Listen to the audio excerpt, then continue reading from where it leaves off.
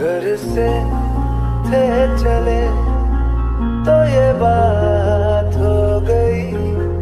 न जाने क्यों से मुलाकात हो गई। नजरे ऐसे वो टकरा गई